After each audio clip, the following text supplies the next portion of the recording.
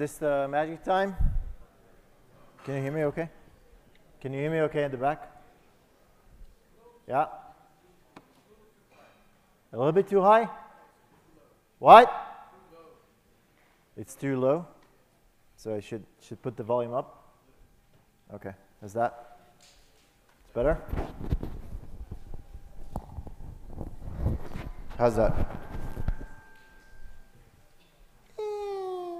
Okay.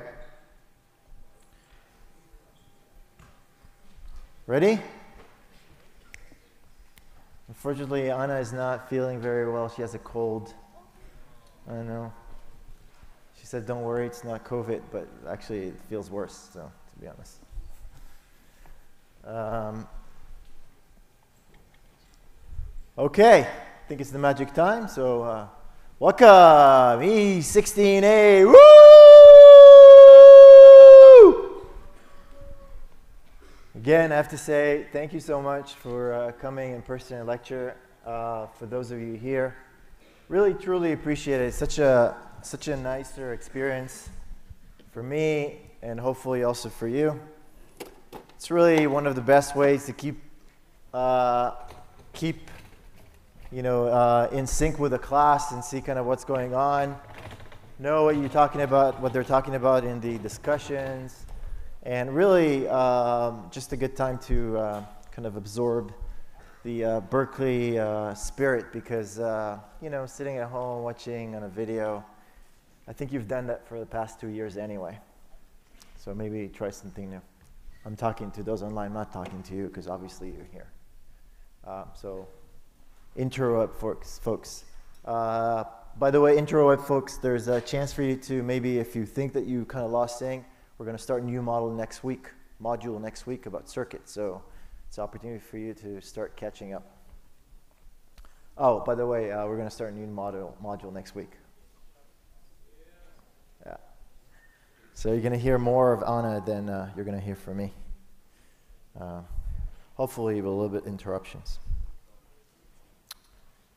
What we? Oh, so this week we're going to talk pretty much two, uh, two lectures are going to concentrate to the, um, to the topic of eigenvalues and eigenvectors. And it's one of those things that you kind of like, what the heck are we, you doing this for? What is this? Is like, I don't understand this. Like, why, why is it useful? And I have to tell you, among the things that you learn in class, the concepts of eigenvalues uh, and eigenvectors is one of the most important ones because they tell you so much so much about the system capability. You know, like we learn about invertibility, we learn about linear dependence, and those give you some idea. But eigenvalues and eigenvectors, wow, if you know them, then you really don't need to know even the matrix. If you know the eigenvalues and eigenvectors of a matrix, you really don't need to know the matrix. You know what the matrix is actually doing. to, you know, signals or vectors are coming in. So that is extremely, extremely useful uh, concept. But we need to kind of catch up a little bit on, um, on, um, on last time. And um, last time we talked about vector spaces, blah, blah, blah, blah, vector spaces, subspaces, blah, blah, blah, blah, blah, definition, definition. All these are also very important in terms of both understanding the language, but once you've described something as a vector space, as a subspace, there's good properties for that so that you can leverage in order to, um, to show things about a system. Um, we talked about null spaces, kind of, just at the end. And I'm going to focus more about today. In fact, all eigenvalues and eigenvectors all are derived from null spaces, right? So it's, it's really relevant to that. So we'll talk about that today. Uh, today we're going to talk about computing the determinant because we haven't, and then eigenvalues and eigenvectors of a matrix. I'm going to give you some kind of examples of PageRank, which is really uh, kind of the basis of how web search, uh, at least by Google and other, other web searchers work. Um, so we'll start with that. So we had all these jargons. Rank, we talked about rank of a matrix, which is really the size of the dimension, right, of the, uh, of the column space or the number of linearly independent columns in a matrix. Um, I mentioned null space, but really it is the space for which ax equals 0. Okay, all those x's, all those vectors, such that A, a matrix times a vector equals zero. And then I talked about vector space with all its 10 definitions, and once you have a subset of that vector space, uh, you can call it a subspace if it satisfies, you know, these three conditions that we talked about as well. If it doesn't, it's a subset, but it's not a subspace. We talked about the basis, which is the, um, which is really the minimum set of vectors that span right, a vector space. Um, we talked about kind of dimension, which is of a vector space is really the number uh, of basis vectors. Column space is really the span or the range of the columns of a matrix, and row space is the same thing but for the rows. Okay, so these things we kind of discussed last time in terms of jargon. But let's focus right now on a null space. And take this, this is a big equation. Super important. AX equals zero. And if you want to be concise about it and accurate about it, you probably want to you probably also want to uh, do that. Right? Realize that this zero is actually a zero vector. Wow. So here's the definition. Null space of A which is doesn't have to be a square matrix. It could be could be a rectangular matrix, could be fat, could be thin. Okay, either way. Um, so R of n by m, and the null space is a set of all vectors x belong in Rm, Yrm, and not Rn. This and like that, right? Because this is the mth size of the matrix, right? This is the n. So when you multiply like this, it only compiles when x is of size m. So x in Rm such that ax equals 0. Wow. And I showed you that x doesn't have to be 0 for that to be true. And that is the, you know, really realization that with matrices, things are a little bit different than with, with scalars. Okay? So let's, let's talk about that. We showed this examples before, example before. I had this matrix here, this one, and I asked, what is the set of vectors x in R2 such that this matrix times x equals 0? Stare at this long enough. Are the columns linearly independent? They are. How many solutions? There's just one solution. That is a unique solution. The columns of a matrix are linearly independent. That means that there is just a single unique solution for the system of equation. And hence, in order for that to be true, what will be then the solution? Yeah, it's the zero vector, right? So there's always a null space. The null space always exists, but this is called the trivial null space. Trivial null space is x equals zero. It's kind of like a point, right? It has zero dimensionality. It's not like a, we, we, you know, when we have a line, then that's one dimension, we often say, but this is a point. Okay, so dimensionality zero. And so zero is always in the null space. So it's a trivial null space of a matrix. That always exists. And the question is, is there sometimes a case where you have a non-trivial null space? So there is some set of vectors such that A equals zero, but it's not the zero vector. And obviously there is, and here's an example. Here's our two vectors, uh, uh, a matrix composed of two vectors in R2. And now we have 1, 0 and minus 2, 0. Are these linearly dependent?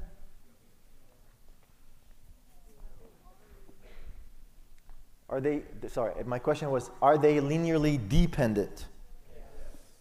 Absolutely, they are. Uh, you know, one is just minus, uh, minus 2 times the other one.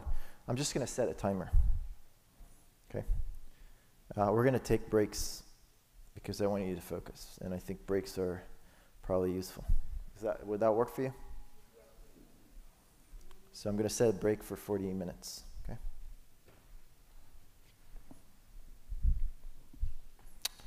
Uh, 35 minutes. There you go. Okay. Interesting. So let's do the Gauss elimination for this and try to see what's going on. So if you actually do the Gauss elimination, you go like, oh, wait, oh, that's, that's pretty easy. Basically, it immediately shows up what, what you mean. So I have a independent and dependent, right? Um, uh, uh, variables. So x2 I can choose to be whatever I want. And then x1 has to be 2 times x2 just by those equations, right? So whatever I pick here, then x1 has to be equal to 2x2. So x1 equals 2x2. That means that the set of solution for this set of equation are anything that can be described as something 2 alpha and alpha, right? Something that has this form would be a solution. And so um, this is really kind of my x. x could be anything, 2, 1 times some alpha. That also means that my set of solution is within the span, right, of this vector. Right? It's within the span of this vector. Yeah. Any, any scaled version of this vector would give me a solution here. Let's, let's give it a shot. Like this, like that, you get zero, right? There you go. You know, like this, like that, if this is 1 minus 2 and this is 2, 1, you get 0. But that's true for any, any scaling. So in this case, we have a non-trivial null space, which is really the span of the vector 2, 1. It's a whole space. It's a one-dimensional space in this case. Right? It's a one-dimensional space that is the span of this vector. Wow. That's pretty cool. Now, how do we get from that? We know that we have linearly, you know, linearly dependent columns. That means that there's infinite solutions. Well, we can use the fact that we have a null space. We can use the fact that we have a null space to show also that we have infinite solution. I kind of showed it you last time, but we didn't even really talk about null space. So let me just rephrase it in the context of a null space. Let's say I have an equation ax equal b, and we know that some v0 is in the null space of A. That means that A has a null space. Okay? All right? That also means that A times V0 equals 0. That's definition, right, of V0 being in a null space. Okay? Hmm. Okay, let's say now we know a solution for AX equal B. AX equal B. We know a solution. Okay? And we know that there is a solution which is uh, X sub 0. That is a solution. Okay? So what does that mean? That means that A times x0 equals B. All right? Hmm. How can we get from that that there's infinite solutions? Yeah?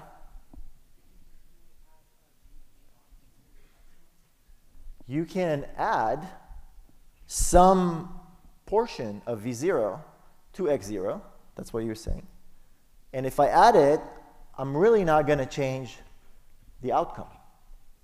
And the reason is if I take x0 and add to it some alpha times v0, let me argue that also the solution is going to be b.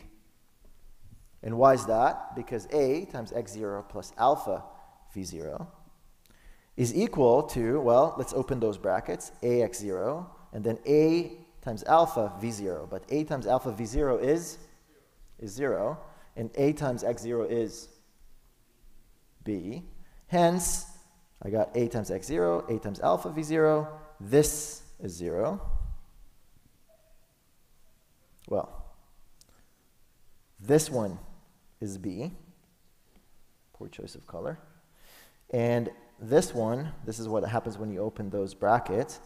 But we know that a times v0 equals 0, hence the solution is b. So now I have a whole set of solutions. Like anything, any alpha times v0 that I'm going to add to my x0 is going to be a solution. So I get infinite solution. Okay. So any vectors, basically what is the null space? Null space is the dimensions that the matrix does not see. A matrix takes a vector in and output does something to it, right? Transforms, scales, you know, rotates, reflects. But if it has a null space, anything within the null space ends up at zero. It doesn't see it. The matrix does not see those vectors. Anything that comes there is just like blind. It's the blind spot of the matrix. It will always end up at zero, whatever comes in from that direction. It's very, very useful. Very, very useful. Think about a system and let's say, oh, let's say I know I have some interference, some, some, you know, some known interference that's really annoys me all the time. What if I design my matrix such that that interference is in the null space of it? So I design a system such that the interference is the null space. Well, it's not going to affect me at all. Hmm. Right? It's always going to end up zero. It's like not going to affect my solution. So that's pretty cool, right? That's, that's a beautiful filter. Okay, so let's see, actually, when we, I haven't mentioned tomography in a while. But you remember that when uh, we did tomography and we measure like four and we said, oh, there's infinite solutions? Right? We just made four and it says, oh, four equations for a known, but they're linearly dependent, so we have infinite solution. Well, if we go there, what does that actually mean? Well, you can do all this, this thing, you know, that we did before in the past, do all this uh, Gaussian elimination, not the game, but the algorithm, and then end up with x4 being a free variable, and that means that my solution, right? My solution is some alpha times 1 minus 1 minus 1, 1, right? That's, that's what it means.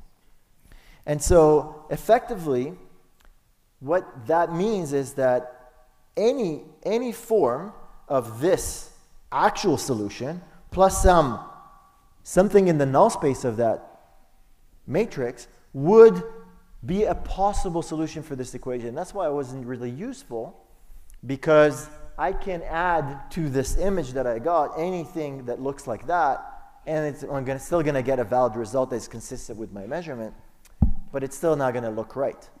So I really, in order to get the image back, I need another equation. That's how it relates to that. So in this case, it's not a good idea. Okay? It's not a good idea to have a null space. Okay. Let's talk about rank. A rank of a matrix is really the dimension of the span of the columns of A. Okay? Remember that? You look at what the matrix A spans, it's the size of the dimension. If I have a 3 by 3 matrix and all the columns are linearly independent, A spans a 3 by 3 matrix, linearly independent, A spans R3, entire R3. What is the rank of that matrix? The rank is 3. That's right. The rank of the matrix can only be as high as the minimum between m and n. You know, the size of the matrix, either the, you know, the number of rows and number of columns. It cannot be more than that. So if I have a 3 by 3 matrix, linearly independent, that means that my matrix now spans R3, the rank is 3, that's the maximum rank. It's also called a full rank. So when I tell you the matrix is full rank, that means that for a 3 by 3 matrix, it's 3. What about a 3 by 2 matrix, full rank? Who said 2? 12 points.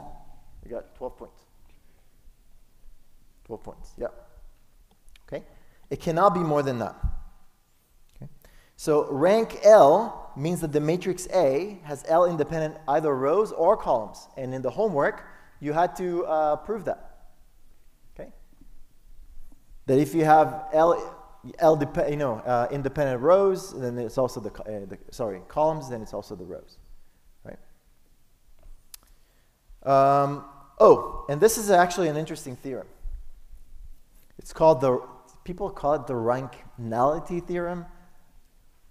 I don't like the rank nullity thing, but like here's the, here's really the gist of it. Let's say I have a matrix.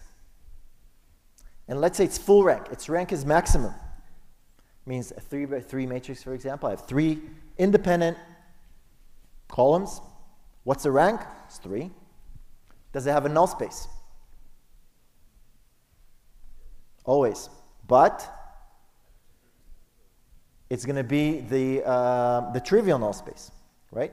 So the dimension of the null space is going to be zero because it's a three by three matrix, independent rows and columns. So it has one unique solution, you know, things like that. There's AX equals zero is only for X equals zero. Now, what if the rank was two? That means that the matrix spans a two dimensional space. You need two basis functions, ba sorry, basis vectors, in order to represent the range of that matrix. Okay? You need two. Well, that also means that this matrix has a null space of dimension 1. So the rank of A plus the dimension of the null space of A is always the full possible length.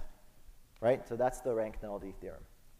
So if the matrix does not span the entire space, that means it has a null space. If it has a null space, the size of the null space and the size of the range of the matrix, they add to be the maximum dimensionality. Yes?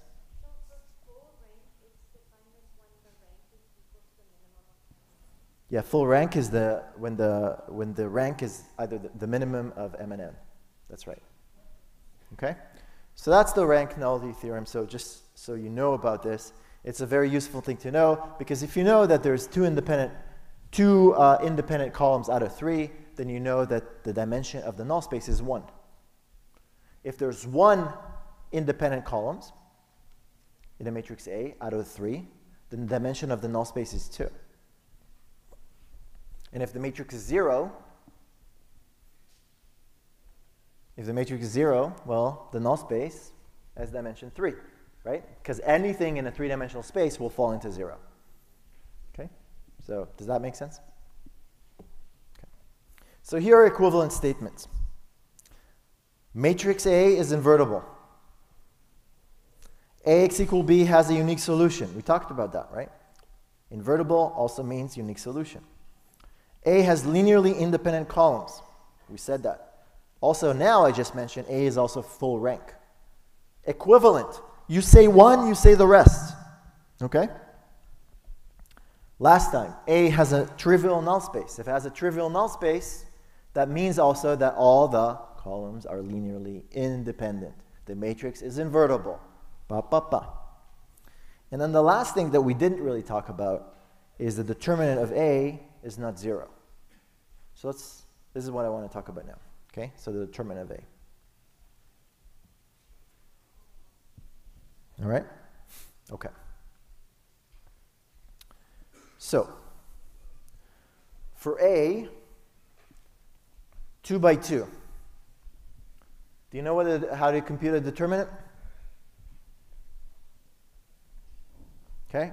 It's like karate.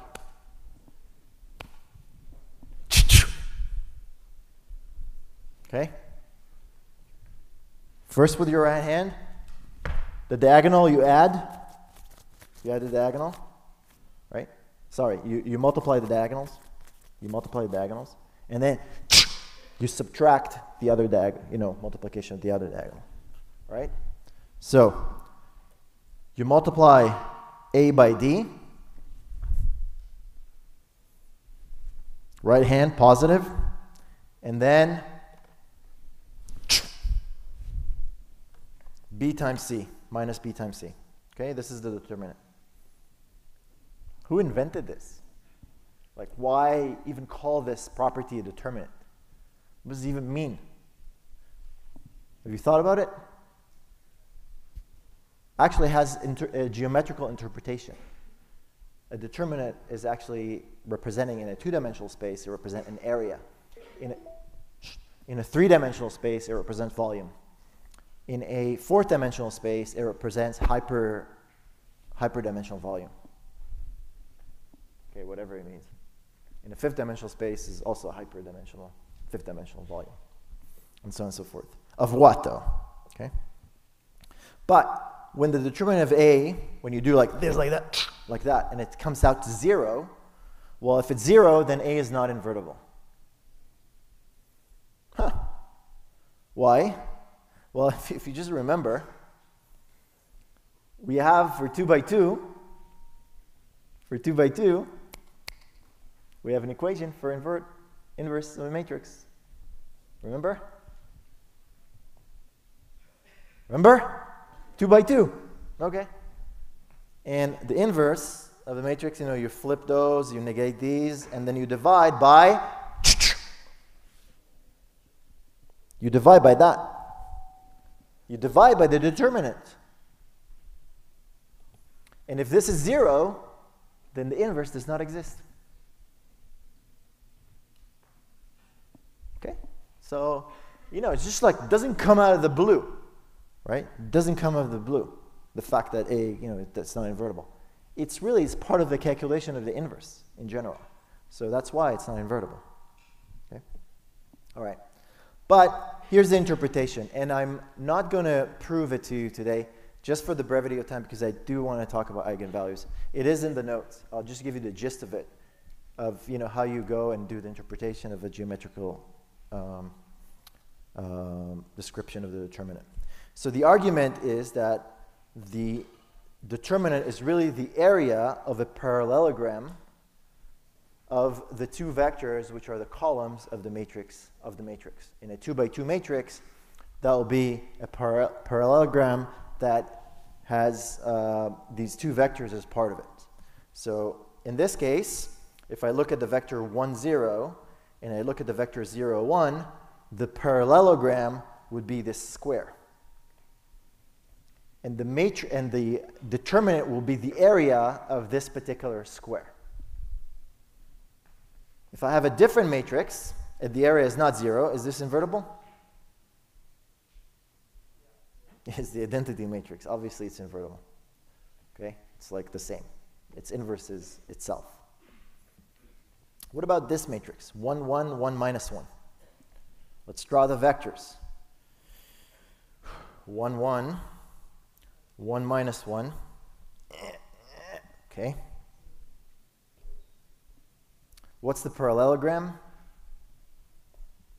It's this one. Does it have an area 0? No. The matrix is, is invertible. Okay? Now, what about 1, 1, and 2, 2? Columns are linearly dependent in this case. Let's draw those vectors. This is 1, 1. This is 2, 2. What's the area under the parallelogram? Zero.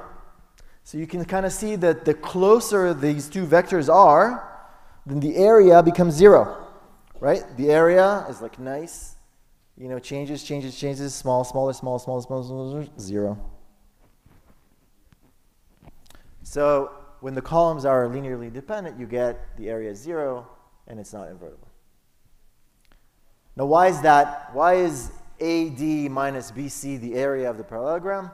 Well, look at the notes, but the, um, the gist of it is that you can actually draw these. Here's the two vectors.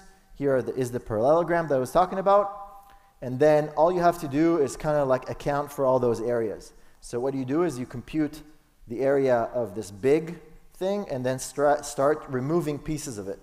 Remove this piece and then remove this piece and then remove this piece. Each one, you calculate the area of it, and then the result of it would be exactly what I just said. Okay?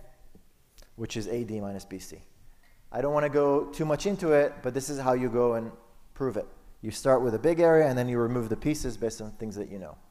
And you can look it out at the, um, at the notes and see kind of how is this derived, or actually these notes as well. All right? So it is the area of the parallelogram, and that's why it's zero.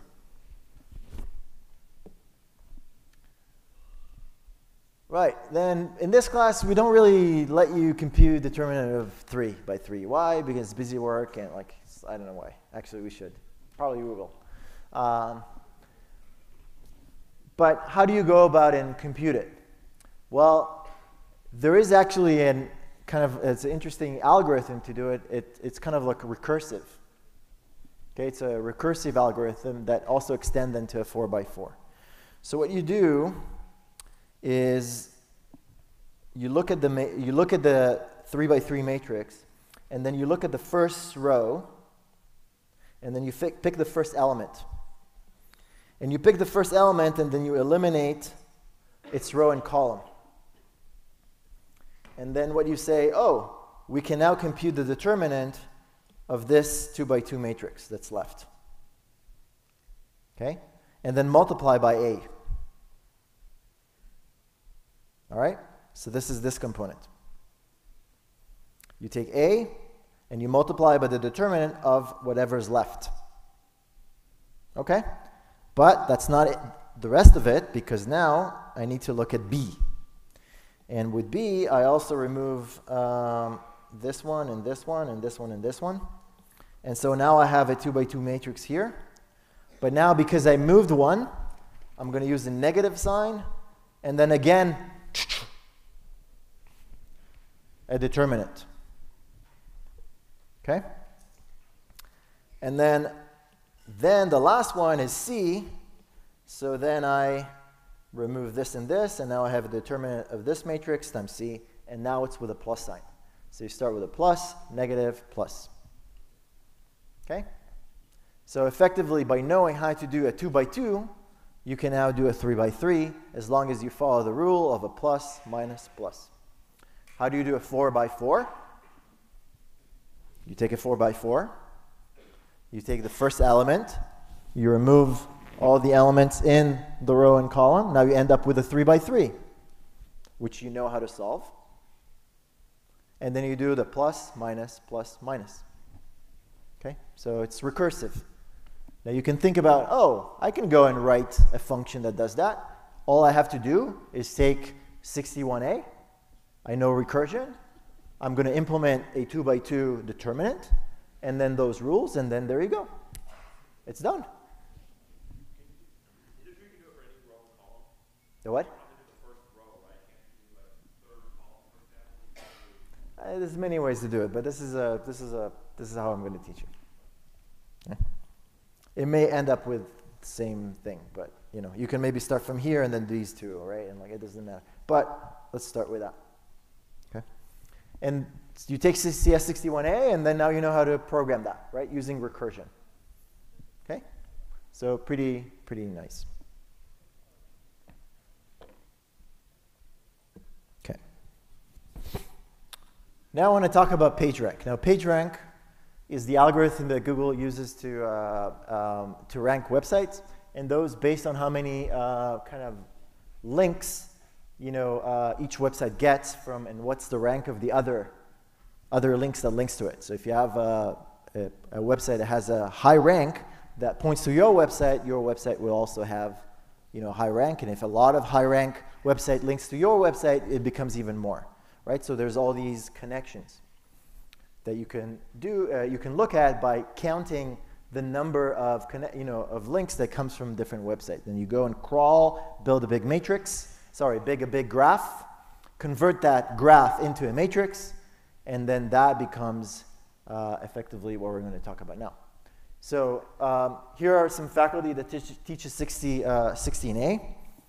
Um, yours truly, um, oh no, who's right now probably, I need to add like a tissue here.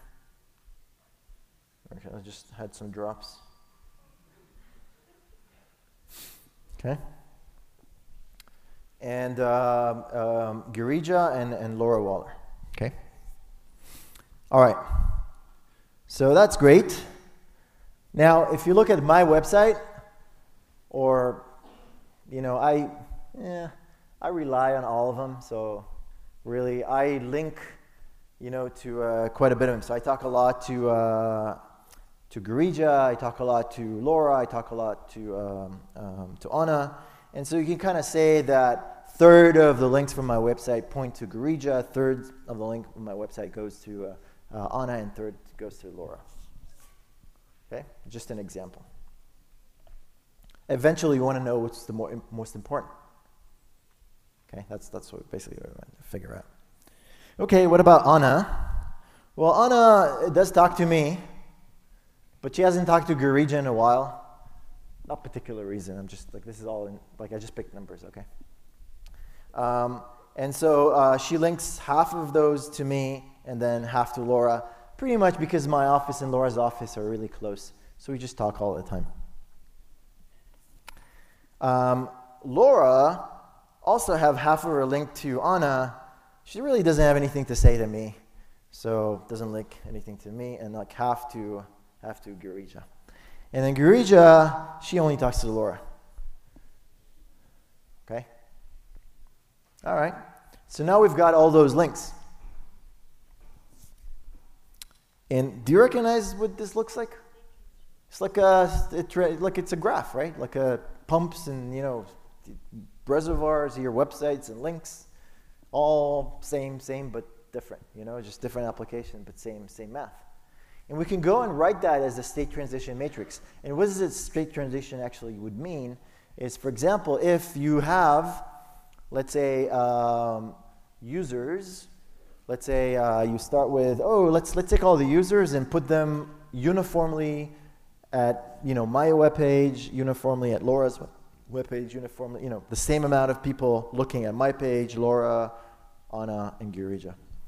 And then we want to see after a while where do they spend most of their time by clicking those links and where do they end up at. Okay? Same with water, right? Like where all the water goes, right? Like, you know, which reservoir would be fuller, things like that. So we want to build this uh, state transition matrix to really realize, you know, what is the likelihood, for example, if, you know, at the end, here will come out to be almost a probability, you know, how much time it would spend you know, in, in a particular website, or what's the likelihood of a user, you know, you know, being at a particular website. That's another thought about, you know, how to, how to think about that. And that's how you're going to also determine how important and rank those websites and rank those faculty. All right. So how do I go about it? What is the column? Column is from me out. Row is from everybody to me. Okay, the first column. First column is from me out. The row is everything to me. Okay? So let's fill this one. Me out. So me to me, zero. Me to Anna? Me to Gireeja? Me too, Laura? There you go. Okay. All right. What's the next one? From Anna out. So zero, sorry, half, zero, zero, half. Right? Half, zero, zero, half. Because Anna, to me, half, half to herself, a zero to herself, zero to Gireeja, and then half to Laura. Okay? And then you can fill the next one. Gireeja only sends to Laura, and then Laura sends half to uh, Gireeja and half to uh, Anna. Okay? All right, so now we have the matrix. That's cool. And so, really, here's the game. Now we can think of it as state transition matrix and start evolving kind of what's going on. You know? Start evolving the state and see what happens.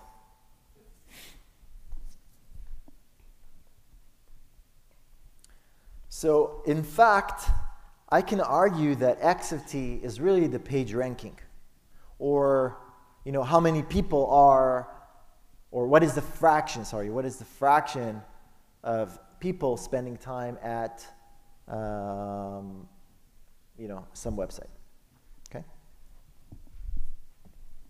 All right. So what we could try and see, oh, let's start with some uniform distribution. Fourth of the people will be in my website, four in Gireeja, four in Laura's, four in Anna. And see where they go. You want to do that? That should be fun. Is that useful? I think so. It's like a hot, you know, trillion trillion dollar industry. Or, I don't know, probably more. I mean, that's sounds important, just based on the dollar amount. Search, okay, like. All right, let's do it. We'll start with equal ranking and see what, what where, where is it going. So what happens after t equal 1? Like this, like that, like this, like that, like this, like that. I'm not going to, you know, bore you by computing that now on, on the fly. I'll just tell you what the solution is. After you do one evolution, this is what you get. But eighth, in my website, what's the second one? Anna. Point two in Anna's, point two in uh, Gireeja, and then point four in Laura's. Okay, let's keep going. Let's keep going.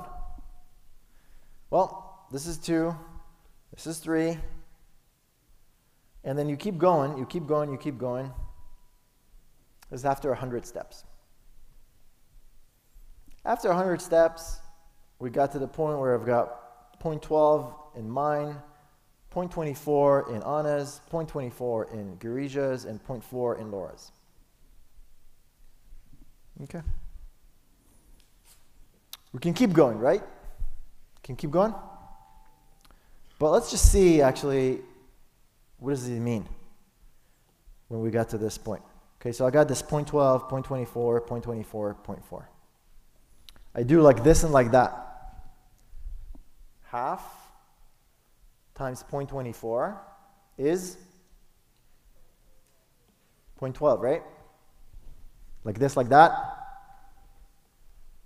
This times that. I get half times 0.24.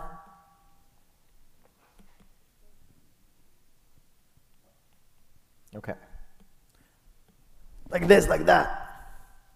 Third time 0.12 that's 0.04, plus half 0.4, that's 0.2. So it's 0.24. Okay. Oh, that's the same, so it's also 0.24. And then third of 0.12, that's 0.04. Half of 0.24, that's 0.12 plus, you know, and then uh, 1 times 0.24, nah, nah, nah, nah, nah. you do the calculation, it's 0.4. So nothing has changed. Obviously, if I do 100 a second time, 103rd time, 104th time, it's not going to change because you get the same value. If I multiply the same matrix, you know, same matrix by the same vector, and I get the same thing out, nothing's going to change anymore. What I can say here that the state had reached a steady state. Okay, it converged to some steady state where things are not changing anymore. So we started this game by having equal rank, and we ended up by Laura being the most important.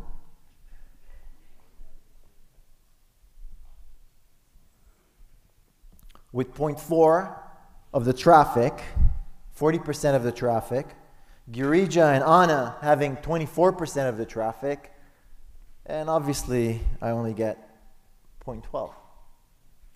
You know, 12% of the traffic. What can you do? They're just better than I am. It's true. Okay? So it allows us to evaluate, you know, how important a website is, right? For example. Or, you know, how much concentration of water you get in a particular case. But that leads to an interesting interpretation of wait, there was some steady state here. Right? There was some steady state here. Some, let's, let's talk about that. I mean, that's a useful thing, right? Because maybe we don't need to compute all those you know, evolutions over and over again. Maybe we can find the steady state out of directly from a computation. Right? Maybe we can do that. And so that leads us to, oh, maybe we can formulate that as a linear set of equations that we're going to solve for the steady state directly. Solve for the steady state directly without needing to multiply like hundreds or I don't know, maybe it's going to converge after thousands, thousands times. And you know what? I might have a billion by billion matrix or you know even more than that that I need to go and prop, you know, do a multiplication all the time. That's going to be really expensive. So maybe I just need to try to compute the steady state vector directly. Okay? So let's try to talk about that in like three minutes while you take a break. All right? Go like this, walk around. How about we put some music?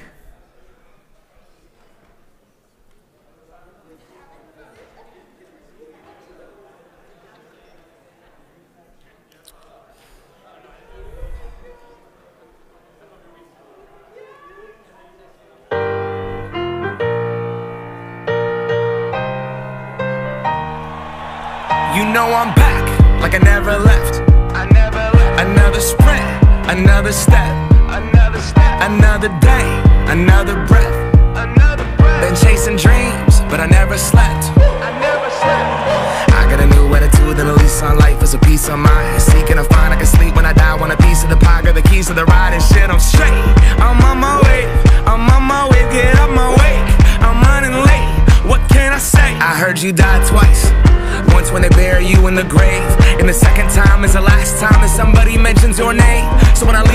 this earth,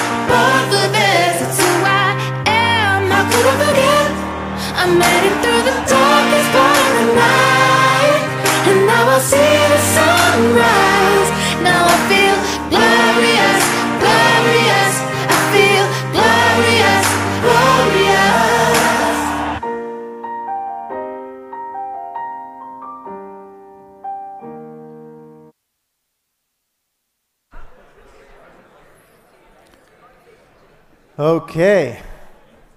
Refreshed? Ready? Can I get your attention now? This, this material is very important. Like every material, but to really digest what eigenvalues and vectors are, you know, once you actually understand it and like you can visualize it, and it goes like, wow. You know, it's like this, this moment where you go like, holy Like really, I mean, it's like whoa. So let's let's talk about it. So here's a we want to look at the steady state, right? And the steady state that we got, if it exists, it might not exist. It may not exist. Remember the first uh, pumps and things that I told you about? Remember?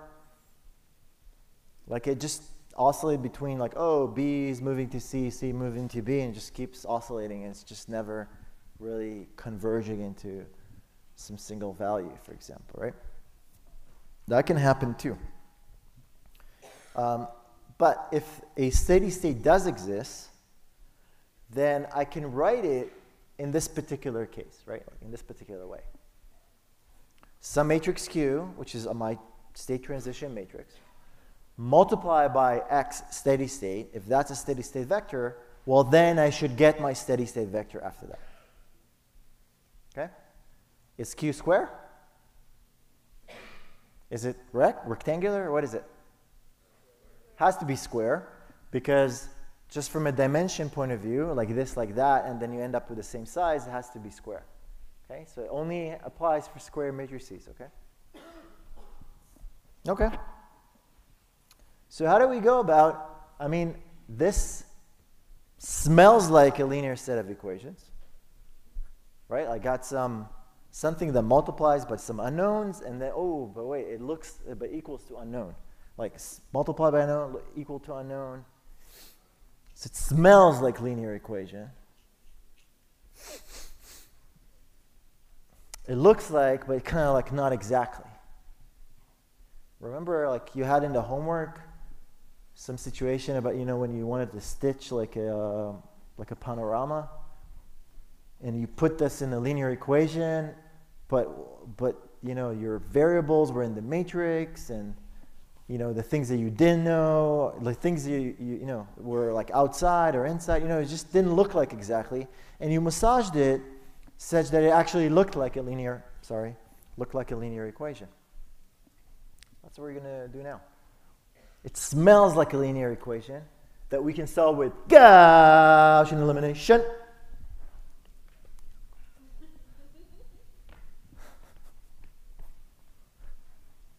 but it's not like enough. So let's try to massage it. Right? We want to make it like look like ax equal b. You know? That's what we want to make it look like. Right now, it looks like ax equals x.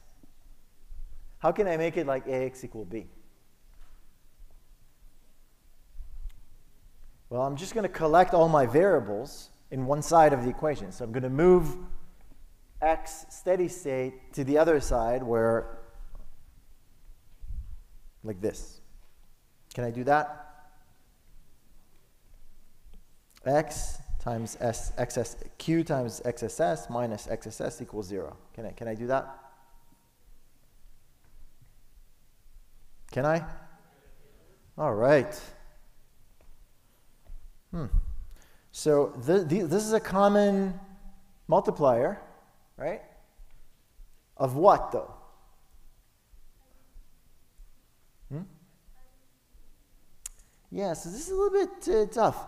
Like, what, what is, when I have, I have q times xss, but I have not, like, nothing times xss, and I want to take xss out. And I just want you to realize when you have a vector, the same if I want to write x.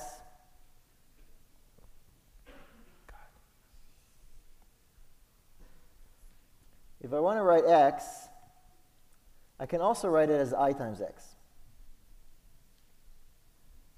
Right? i times x equals x. Oh, wait, is Q identity matrix? Because that, that would have been, right? If Q was the identity matrix. So here's the weird stuff about weird things about matrices, right? Like that's the so cool. Like sometimes now I have something times that equals zero, and it's not zero that that thing. And now I've got like something something is the same, but it's not the identity matrix. It's crazy. Whoa, what is going on? Okay, so I'm just going to write it this way, right? So some q minus something equals xss, right? But what is this something? It's the identity matrix, right? So I can basically write it this way, right? I can write it as q minus i times xss equals 0. Whoa! q minus i is the matrix. xss is a vector equals 0. What did we cover in the beginning of the class? We talked about null space. What's the definition of null space? Exactly that. So what is XSS? The steady state vector? It's a null space vector. It's a vector that lives in the null space of the matrix Q minus I. Okay, not Q, not the null space of the matrix Q, but the null space of the matrix Q minus I. How can I find it? How can I find XSS?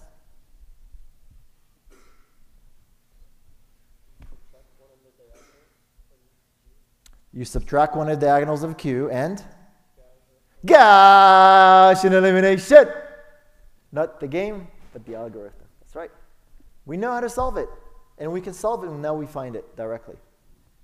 Don't need to iterate in order to do that. Yeah.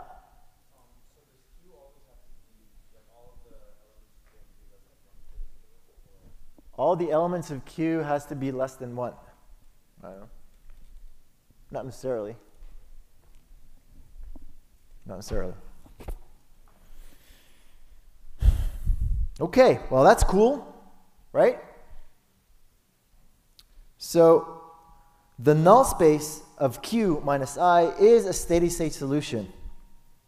So, any, by the way, any scalar of XSS, it's still the null space of Q minus I, and it's still a steady state vector right? I scale XSS by 5, it still would be true. Right? I would get just at the end XSS times 5. So it is a space. Okay? All right. So we saw an example for steady state vector. What does it really kind of what does it kind of mean? Remember that when you take some vector and you pass it through, like you, you multiply a matrix, you, you multiply a matrix by that vector, normally that matrix would you know scale would shrink would rotate reflect you know do this transformation on that vector. What is so special by this vector xss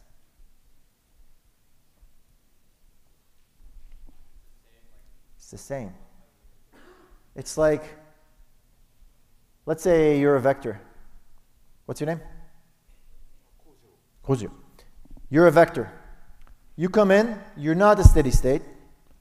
I'm going to tell you shrink, rotate, flip. All right? Shrink, rotate, flip. Come on. Flip. All right, no, flip. Like. and what about you? Come on. You're also not a steady state vector. So you come into my matrix. Okay. Expand, jump, rotate, flip, reflect reflect on what you uh, just experienced. right? That's, that's what it does. And let's say you, hey, come over. Let's say you're a steady state vector and I'm, I'm a matrix. Oh, please just stay as you are. Stay as you are. You're perfect. Thank you.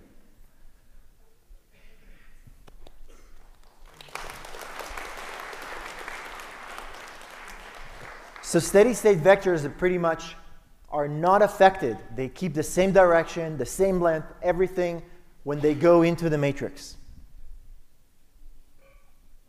Right? That's pretty cool. That's, that's a very interesting property. Okay? Okay. So what I want to look now is a little bit of a more general case. Okay, right now I got the steady state vector and we, we saw that it was useful because it gave us, for example, you know, the rank of pages and stuff like that. But I want to look at a more general case. And the more general case is a situation where I have a vector that go inside the matrix, but that vector doesn't exactly stay the same, but at least they kept they get to keep their direction. Their direction doesn't change, but maybe they can be, you know, scale up, scale down but they stay in the same direction. They're not rotated, reflected, and so on and so forth. Okay? So in the general case, what I'm going to have is I'm going to have q times x would be equal to some lambda times x. Now, the analogy to what we have before is that here lambda was 1. But I'm just going to look at a more general case where lambda is not 1. So that's pretty cool. If we have such a vector for a particular matrix, such that when it goes into the matrix, this matrix multiplies it, it only shrinks or expands or stays the same. In that case, we say something about this. We say that x is an eigenvector of q. It's eigen in German means self. So it's a self vector of q. It's a self vector of the matrix Q with an eigenvalue, a self value of lambda. That's what it means. In this case, XSS is a self vector or an eigenvector of Q with an eigenvalue of 1. In this case, it would be a self vector of or an eigenvector of Q with an eigenvalue of lambda. And I would also say that the span of X is the associated eigenspace of the matrix Q that is associated with that particular eigenvalue lambda. Okay? It's an eigenspace. Now, why it's an eigenspace? Because actually, any vector within the span of x should still satisfy that, right? If I, if I know that q times x equals lambda x and I put, you know, 2x in, I'm just going to get lambda times 2x right? So it's still within the eigenspace. Okay? That's pretty cool. So here's a situation where I have x, and let's say I give you an arbitrary matrix, and I don't, you don't even know what the matrix is. You don't know what the matrix is. I'm telling you x is an eigenvector of that matrix associated with some eigenvalue lambda, and I'm going to ask you what happens to this vector if the eigenvalue is 1. What would happen to the vector when you have q times x? Stays the same. I didn't tell you what the matrix is. I didn't tell you what x is. Right? Well, I kind of showed you this particular one, but you know, I just told you it's an eigenvector. And now I'm telling you eigenvalue is 1 and you know exactly what's going to happen. You don't need to compute anything. That's powerful. What if lambda is bigger than 1? q times x. What would happen?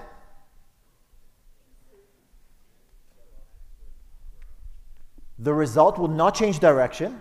It will keep the same direction and it would expand. The result will be lambda times x. And if I keep doing that, again, q times whatever I got the result, q times that, q times that, q times that, what would happen? Expand and expand and expand and expand by lambda till it explodes. Right? Remember when we had a non-conservative system that, you know, that things exploded? That's how we know that things could explode if we know that there's an eigenvalue that is bigger than 1. What happens if eigenvalue is actually less than 1? What would happen to x? Its direction stay the same. What happens to its length? Shrinks. And then I keep going. Q times x, q times, you know, to the, result, q times that, q times q squared, q, q cubed, q to the fourth.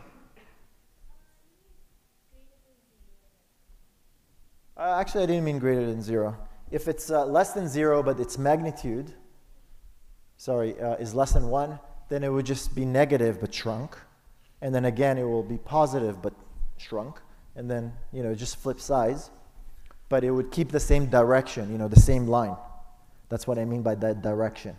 It might flip, you know, sides, but it's still on the same, you know, the span is not going to change. Okay? That's, that's a good point. So actually, what I meant is that. Okay, that's, that's very interesting.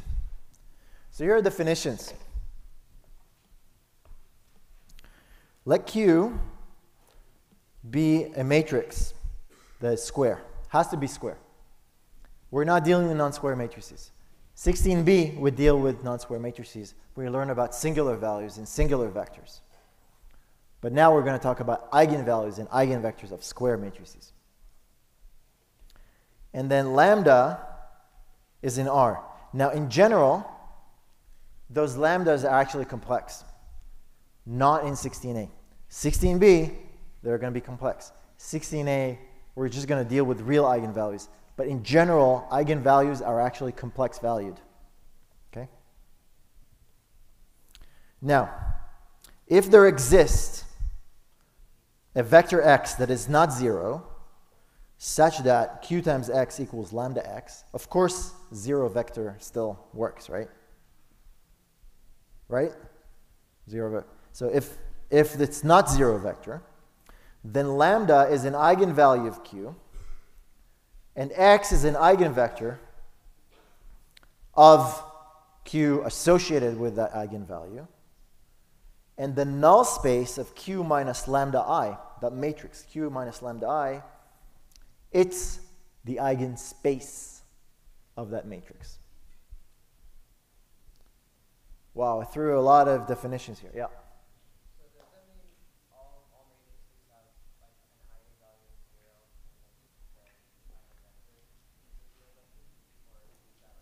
It could be it could be trivial eigen. Uh, no, not, not all matrices have eigenvalue zero. No. Not all matrices have eigenvalue zero, but they could, but the, I, but zero vector could be an, you know, it is an eigenvector. Obviously, if this is zero, if lambda is zero, then that is not necessarily true, right? Because if I pick a q that it's not zero, it's not in null space x, it's not in null space of q, then it's like, oh, then it doesn't work. Okay, so that's not true. So this is a definition. So I'm going to repeat again. If you have such x, such that qx equals lambda x, then lambda is the eigenvalue of x, and x vector, uh, sorry, of q, and then the x vector is an eigenvector of the matrix q, and the null space of q minus lambda i, it's the eigenspace. And the eigenvectors span the eigenspace of the matrix uh, uh, q minus lambda i. Okay? Does that make sense? All right. So now the real question is how do you compute them? How do you compute them? And that's where we're going to spend the rest of the class today, just computing eigenvalues okay? and eigenvectors. And the way that we're going to compute them is using a determinant. That's why we taught you about the determinant. So th- the thing is that there's two things that we need to find. We need we have a matrix, but we want to find lambda and we want to find x that's associated with it. There's two things.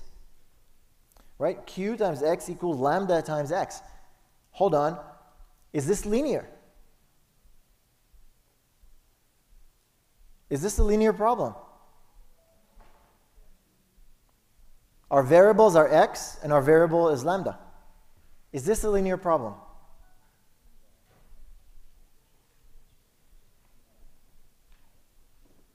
Yes or no? I mean, who says yes? Is this linear? Okay. Who says no? Who doesn't know? You've got lambda multiplying x. Both of them are variables that you want to solve for.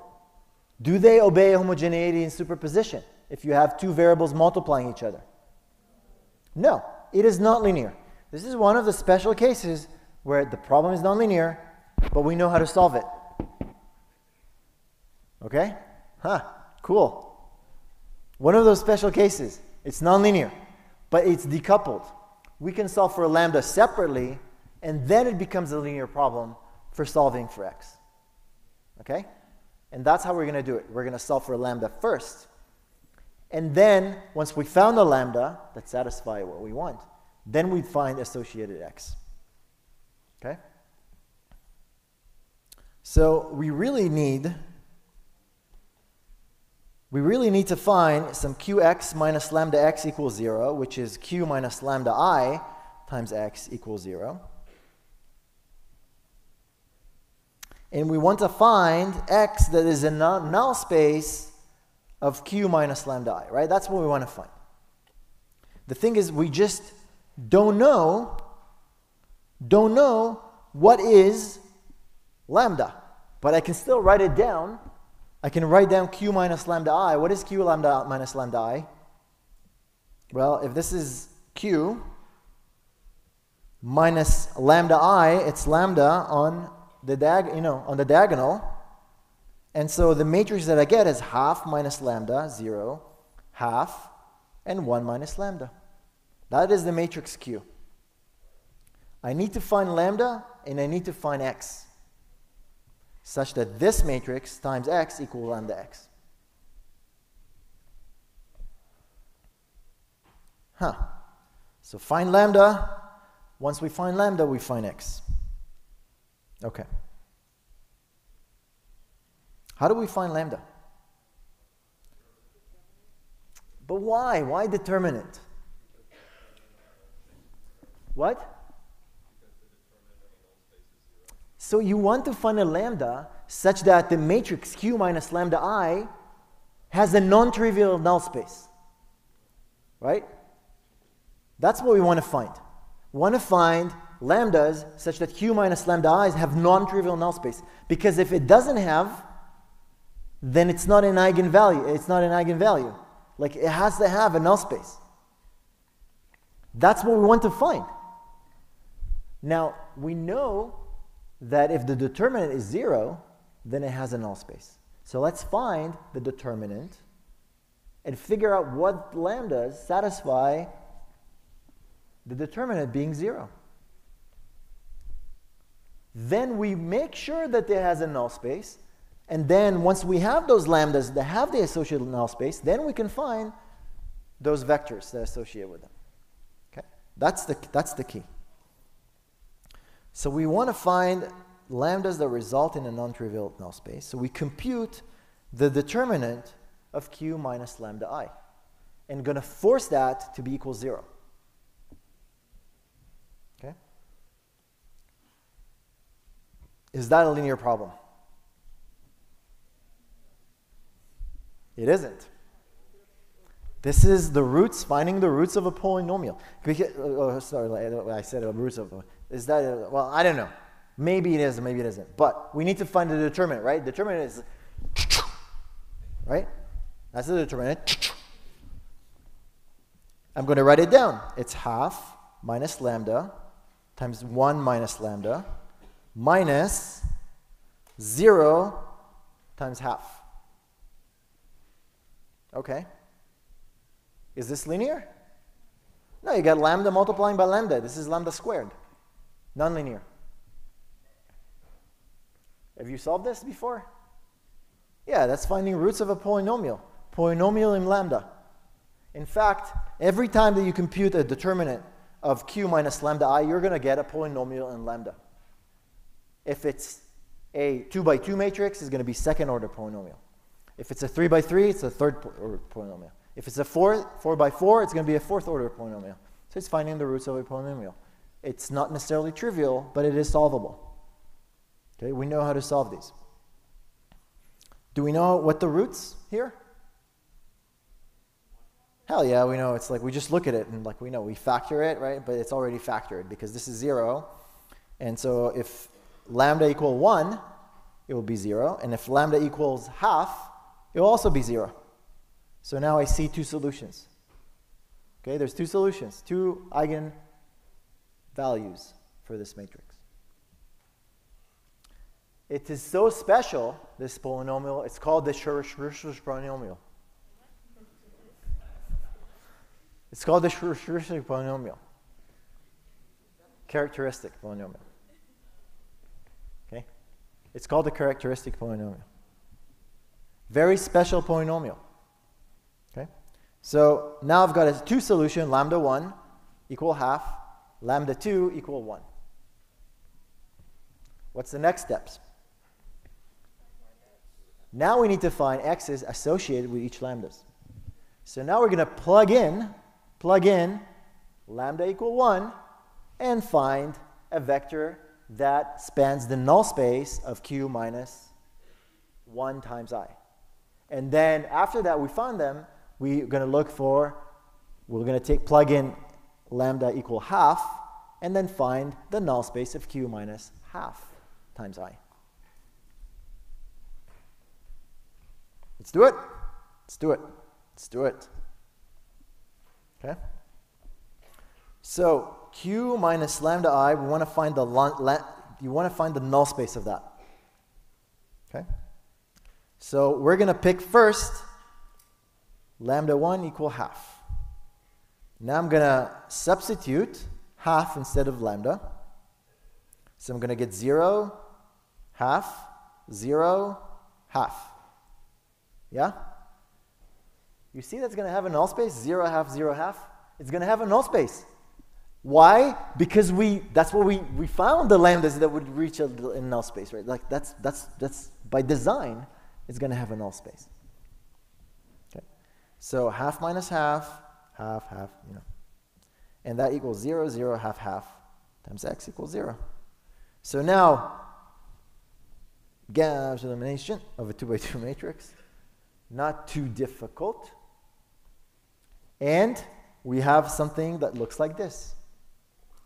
So let me argue then that I'm going to have like kind of like, you know, I scale it by, by you know, multiply by 2, and I get 1, 1, 0, 0.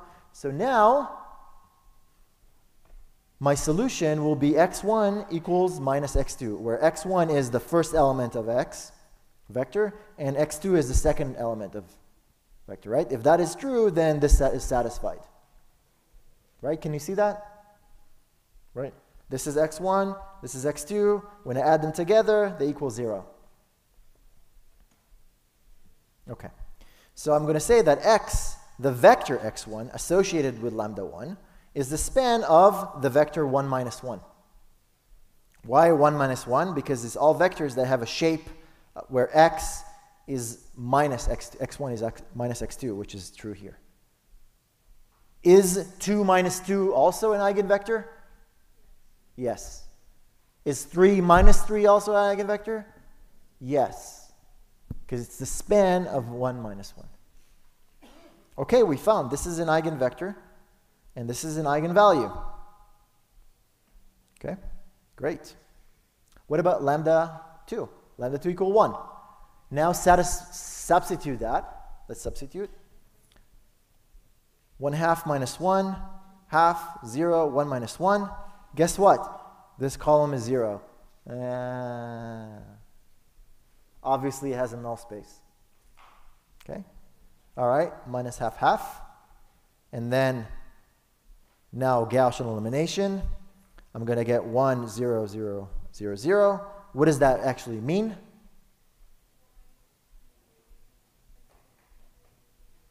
What does that actually mean? If I pick a random x, what will be then the solution? Well, basically x1 is 0, like it's always 0, right? That's, that's what it means. Because whatever I pick for x2, then x1 has to be 0, otherwise when I add them together, you know, right? Does it make sense? So x1 has to be 0. So x2 is in the span of 0, 1.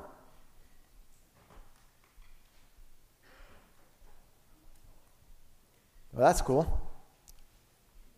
Okay, so um, that is the eigenspace. This is now the eigenspace of the matrix Q associated with eigenvalue 1. And let's just pick a vector and see if it works. Here's the vector 2 minus 2. I'm going to take half, half, 0, and 1, multiply by that. What am I supposed to get?